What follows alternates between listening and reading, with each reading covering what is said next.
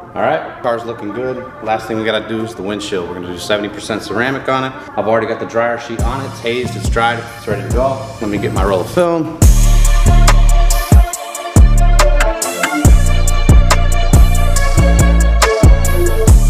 We've got the windshield ready. Next steps, prep the windshield on the inside. We've got some things we wanna take with us. Soak rope, dash towel.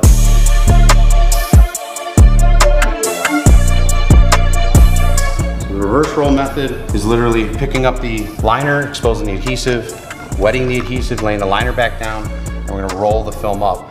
So as we unroll from inside the car, one side to the other, the liner's gonna pull as we're rolling it onto the glass.